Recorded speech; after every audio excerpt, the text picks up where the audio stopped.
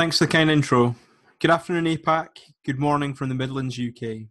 I'm Ali Motion. My talk has the somewhat grand title of The Seven Universal Truths to Data Analytics when Using Tableau. But first, a quick introduction. So, I'm Ali Motion. I work for a company called Process Evolution here in the UK, and I've been with them for just over three years now, um, and I've been using Tableau since I joined. So we specialize in working with emergency services clients, um, and we talk about helping them with evidence-based decision making. So whether that's a police force looking to optimize the location of their custody suites or the allocation of their neighborhood officers, we would look to try and help them make the best possible decisions. On the fire side of things, we do so, do a lot of work trying to optimize the, the correct number of stations a fire service should have um, and the number and type of appliances in order to meet the current demands for their service. So prior to working with Process Evolution, I spent eight years at British Airways with the operational research team. And in this role, I worked on a variety of projects, which included flight and cabin crew, commercial projects, and revenue management. So one of the questions I was, I was asked around this was, why have you chosen this as the topic of your, your talk? Um, and why this talk? I think it's a really good question. Um, for me, Tableau has a fantastic community, and certainly for technical aspects or technical questions you might have, there's always a blog or a Zen master out there who's always um, willing to help. However, much of the focus tends to be on the technical aspects, um, and sometimes the softer side of the analytical process tends to get overlooked or left behind. Over the course of the next 20 minutes or so, I'm going to share some of my experiences from the last decade of working in the analytical field. I'm going to talk through some of the pitfalls um, that I've seen and talk about um, some of the data visualizations that I've seen in the past the good, the bad, and the plain ugly. Hopefully, some of the principles or advice that I'm going to talk through may help in your data visualization process just a word on this. Uh, I don't claim to be an expert. Um, all I want to do is talk through my experiences over, over the last decade or so in the field. So, my first universal truth universal truth number one do no harm. This one's broken down into a couple of sections, but all refer really to mindset. What are you thinking as you're doing going through your analytical process? How do you approach the task at hand? Doctors take a Hippocratic oath, yet as anal- analysts or consultants, we don't. That doesn't mean that these principles don't apply. So, the first part to this is avoiding deception, being truthful and ethical in all, all your dealings. And this actually can be thought of in a number of ways. Avoiding doing things like truncating bar chart axes, providing inconsistent scaling, or cherry picking time periods to only look at a specific point. Being aware of what you're doing and not trying to fool people through your analysis. Analysis is a construct. One of the most heard and common phrases I hear, particularly from inexperienced or junior analysts, is the data says this. I actually heard it from someone just yesterday who said, Oh no, but this is what the data says. Um, it drives me nuts. Uh, I don't like it at all. And I'll tell you why. Yes, your ana- analysis is a construct. You've chosen the data sources, you've applied the filters, you've selected the date fields, and you've added specific measures. You've even chosen the chart type. Effectively, you've controlled the methodology from start to finish. The output is your construction. And this is my point about analysis being a construct. It's a construct based on the choices that have been made, and the choices you make influence the outputs. I think possibly the most extreme example of this, or a very good good way of looking at this, is Makeover Monday. So every month, every Sunday, Eva or Andy post a data set, and it goes out to everyone. Everyone has the same data available to them. Yet when it comes to the reviews on Wednesday or in the midweek at some point, we see lots of very different approaches lots of very different data, and actually, in some cases, some very different stories being told, all from the same data. So, obviously, something's gone on there between everyone having the same data at the start and everybody coming up with something slightly different. And that's where, where choices, the choices that people make, influence the outputs there. And I think as an analyst or a consultant or going through that whole process, being aware of the choices you've made throughout that point, throughout the analytical process, and the impact that might have is something to be acutely aware of. Universal point number two seek not to just answer, but to understand. This one to me starts at primary school. We're conditioned from a very young age to do the sums, move on, and complete the exercise. But actually, we need to take a second and remember why we're actually doing this. It's not so so much as a case of just getting the answer, but actually understanding what that answer tells us and what it means. Rather than going through this and rushing through, taking that step back to look for the deeper meaning or a deeper understanding of the problem, rather than just scratching at the surface. It's something I've, I've experienced a lot when working with sort of more junior or inexperienced analysts here we've got a fictional airline example. What's happening with business class bookings on route X? Well, the simple answer would be this week is down 12% versus last year. Okay. But what does that actually mean? So we've not had as many bookings as we had at this point last year. That sounds like it's bad, but we think it's bad. Is it bad? Um, how does this compare to other routes? What's caused by the market? So just looking at the figure of 12%, you could automatically say that's not a great thing. Um, but what happens if all the other routes were down 25%? Actually, down 12 sounds sounds reasonable. Or if last year we overbooked the, if we sold the, the flight out too cheaply and we made all the bookings too early, then actually being down 12% might be the right place to be. The thing around this is searching for context. So understanding what that down 12% actually means and putting it into some sort of context. The so what, so what does it mean? And then what are we going to do about it? What are the potential potential actions that can be identified? So for this, it's very much looking for insight, a depth of thinking, and then forcing people to think about the future questions that may come up what may be posed when I point, put out the down 12% versus last year? Okay, well, what else would we want to know before we take action on that? Universal truth number three bar charts are the broccoli of the data viz world. Okay, so I know what you're all thinking bar charts, broccoli. Other than both starting with B, they've not got a lot in common. Well, I think this is a really good analogy actually. Broccoli, it's few people's favorite vegetable. It's not particularly exciting, um, but most of us would tend to agree that broccoli is good for us. And I believe the same holds true for the humble bar chart. The bar chart's got a bad rep. It's boring. But actually, if we look at an example of the bar chart here, so this is just Superstore data by region for furniture and office supplies. This bar chart, it's simple. It allows the comparison between different attributes. Audiences generally know how to read them, and actually, nine times out of ten, it's quite a good, safe choice. If you were to put this in front of most people, I think they quite easily see that West is best. So, the humble bar chart, that's one form of data visualization. But actually, a lot of time we need to think about how our visualization or how our style fits in a more broader context. This data viz spectrum um, is a slide, something that I saw Andy Cotgreave present back in Birmingham in 2015. This is when I was first getting into Tableau and data visualization, and I thought it was very powerful at the time. This is around the function and beauty spectrum of data visualization. So on the left hand side, you see function with the likes of Stephen Few and this very uh, functional um, company dashboard. On the right hand side, we see beauty. So this is the, the sort of art that you may get from the likes of David McCandless and Neil Richards.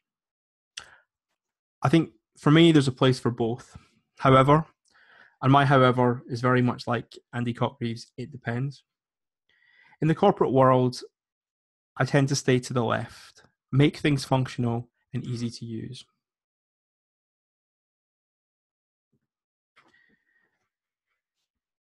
However, what we do see is people straying a lot more to the right. It's something that I'm seeing more and more these days in business with people producing things that are a little bit more complex. Sometimes it works out great, and other times it leaves the audience scratching their heads. I think the lesson for this is that actually sometimes simple is good enough. Universal truth number four everyone has a different viewpoint. As an analyst or consultant, sometimes the best thing you can do is put yourself in your client's shoes. Not literally, I'm not asking you to go out there and stretch their stilettos, but actually consider the, the world from their, their viewpoint. Why are they asking these questions? What are the main concerns? In many respects, empathy is the true superpower of a good analyst. Perspective. Perspective is really about how you handle time. This presentation or data visualization that you, you're putting out there may have been the last week or month of your life. Yet, it's maybe only one of 10 meetings that a stakeholder is going to have today. So, what can you do to, to sort of combat the fact that their attention span might not be there? Well, being clear about your outputs and takeaways is something that's clearly pivotal. On a side note, uh, when it comes to meetings, never go last. That's unless, of course, it's the Fringe Festival and you get a chance to present. And then obviously going last is great. But no, the tip from that is very much around if you're not first on the agenda and you're you've been given a slot of 15 minutes, be prepared that that 15 minutes might be condensed down to five or 10. Other people run long, and although that's that's bad that they have run long, you're then going to be in a position where you have to present your work in a shorter time period. So, are you able to condense your key messages down into the salient points and deliver that on maybe one or two slides rather than the 10 or 15 that you thought you were going to have? Universal truth number five is all about the sniff test. Does your analysis pass the sniff test? And I think the the key question I would be looking to ask myself here is: Do you believe what the analysis is telling you? can you justify what's been seen? And actually, if it's in any way controversial, different from what most people would think, can you justify it? Can you examine the underlying data and say what's causing this? And I think the one piece that I can't overemphasize in all of this is checking your own work. It's never nice to say, I was wrong. First of all, it kills your credibility. But secondly, it's just a horrible conversation to have. And if you even if you've checked your work and you're happy with it, is it possible to get someone else to have a quick once over to make sure you've not made a silly mistake? And by silly mistake, this might be leaving the wrong filter on in Tableau or something very basic that you, you may overlook but actually may change the out, outcome of your analysis. I think in Tableau there's a few things here. So once you start to get into the realms of table calculations or level of detail calculations, the more complex your approach, the more time you should be looking to allocate into the checking to take a couple of examples and just walk through and make sure that the the calculations that you've put in place are doing what you think they're doing. Universal truth number six the defaults are not your friend. We've got an iceberg analogy here, but safe to say this has nothing to do with the Titanic. It just means that more of the mass is above is below the water than above, like an iceberg. So icebergs famous for having a lot more below the water than than above. When it comes to data visualization, it's actually the same. What what you actually show to the audience, the actual visualization, is just such a small part of the process.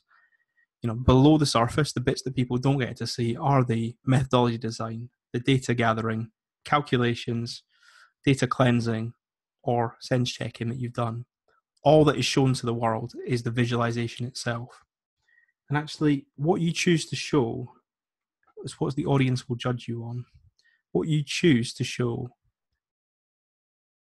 is very important and actually that's what people are looking at, and, and they will make massive assumptions um, and aspersions based on what you've done. So thinking about the colors you use, the fonts, the design, even the chart time types and the annotations that you choose to use, they reflect on the quality of your analysis. Very early on in my career, um, I presented some work to to a client, um, and I got a little bit of feedback afterwards.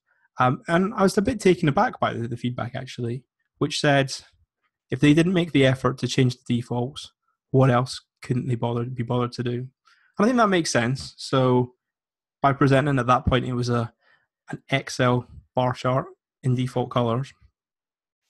By doing that, when it was just bog standard, it didn't seem very impressive. And then the client looked at me and was like, "Well, if he's just gone through a very bog standard or simple approach for the the, the actual visualization, what am, what has he done behind the scenes? What am I not seeing?" Um, so actually, the credibility there um, very important. Um, obviously, Tableau's defaults are far better than Excel, but even looking at this this very um, default or standard superstore data, simple things like changing that category slash order or um, changing the, the font sizes and things like that, the colorings away from the defaults can really add to your visualization. Universal truth number seven. Your analysis is your responsibility. Once a number is presented in a meeting, it's out there. You can't get it back. And actually, this this comes back to the quote from Mark Twain: "A lie can travel halfway around the world before the truth can get his boots on." In fact, the quote that is attributed to Mark Twain apparently he never said it, but it's something that's out there. And as far as bio.com are convinced, he said it. So, what does that mean in the sense of data visualization and analytics? Well, there's plenty of examples of a statistic that's become gospel before it's even been checked. And I think for what one of the things for me is rather than guessing, um, I think it's important for you just to say, I don't know, uh, but I will check. For me, I'd much rather my analysts are truthful and say, "Yep, okay, I'm not sure, but we can check that." And with Tableau, that's very easy, normally very easy to do, rather than guessing when you may have you might be 60 30 60 40 you might you might think you're you're right but it's always better to have the evidence base behind it the second point on this is knowing the limits of your analysis and i think for me this is really important um, and there's a really good example in hans rosling's book factfulness around this it's called the straight line fallacy um, where people assume that growth always continues. So you get that straight line growth piece. And actually, that's not always the case. So if you take, for example, his grandson, who's grown 15% in the last year, well, actually, at three years old, that might make sense. But if you continue that on for years to come, by the time he's a teenager, he's going to be seven foot three. That doesn't make sense. So knowing the limits of the analysis and being explicit about them is quite important. And by being explicit about them, that might be, mean talking about them in a presentation, or it might mean actually those assumptions need to go in the visualization somewhere um, in order for people to, to truly take them seriously. So, in summary, we have seven universal truths to data visualization. Firstly, looking to do no harm. So, avoiding deception, do no harm. The second one, very much about a deeper understanding. So seek not just to answer, but to understand. Universal truth number three bar charts are the broccoli of the data viz world. Much maligned, but we all know they're good for us. Number four, everyone has a different viewpoint of the world. So that different worldview, different perspective. Empathy being that superpower of if you can put yourself in their shoes, possibly get different insights from that. Universal truth number five does the analysis pass the sniff test? Does it feel right? Am I happy to present it? Have I done all the checks that I need to do? Number six, defaults are not your friends. If you've got the ability to customize and make, you know, put that into a style um, that, that, moves away from the defaults um, and portrays you in a better light, then certainly that's what I would suggest. And number seven, your data, your responsibility. So being aware of the responsibility that comes with the numbers, once again, very much about doing those checks to make sure what you're putting out there is correct. So as a consultant, we were taught to under promise and over deliver. So what we here have here is a final final thought about having a little bit more power than you think. So the example here is a tweet that I put out um, after doing the storytelling with data challenge for Cole back in July. And when, when I've done that, what I've done is I've taken what was a very bad um, data viz, so 3D stacked pie chart, um, and I've revisited it into uh, what I've, i see as a, a better approach. So I'd put that on Twitter, forgot about it for a month, came back, um, and these are the stats in, in terms of what's been seen. Now it's not it's not like it's gone viral, but actually I was a bit shocked about just how how many people had seen it and actually the number of engagements that had occurred. So putting this in context of, of the real world, if it's if it's in business or your organization, what can happen is that presentations that you deliver, those once you've delivered that, that presentation, those slides, visualizations, um, they're out in the world, and what can can happen is that they start to be quoted around the business.